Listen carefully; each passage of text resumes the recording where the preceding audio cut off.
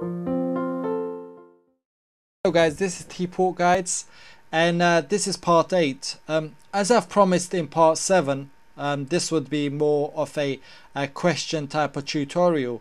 Um, what I'm going to do for this tutorial is I'm going to answer three of the questions within the associate study guide. Um, and if you guys ever get stuck within uh, with the other questions within the study guide, please let me know. Um, and I'll try my best to help you guys out. Um, so starting with question one, we can see that i and j's two variables assign the values of zero. So we've got an if statement here. Um, so we need to see if this condition is going to be true. Uh, now reading that i has a postfixing, j has a prefixing i is evaluated um, and the value is 0 um, and is not incremented till later. Um, so we're checking, this is comparing if it's equal to j. j, the value is incremented by 1 uh, before j is evaluated. So uh, j would be equal to 1. And so this condition would be false.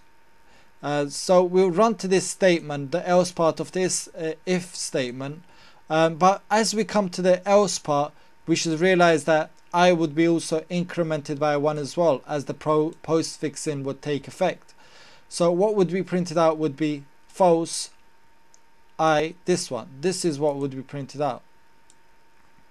Now looking at question 2 we can realize that C is the correct answer because within Java we don't have that we don't have that we don't have this we only have the right unsigned shift, which is that, not the left unsigned shift. Because as we remember, the whole purpose of the right uh, shift unsigned is to tell us if the number is negative or positive. But um, the left shift would actually mean nothing to us. It would not.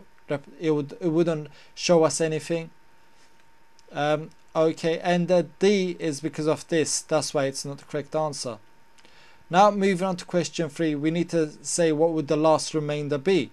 So looking at this, we've got 49 divided by 26. Uh, 49 divided by 26. The remainder would be 23.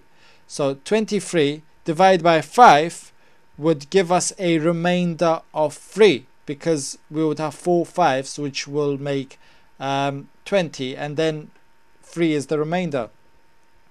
And then 3 divided by 1 which would give us 0 remainder. So answer would be D. Okay, I hope uh, this has helped you guys out a bit. Uh, see you guys in the next tutorial and thank you. And please don't forget to subscribe to my YouTube channel.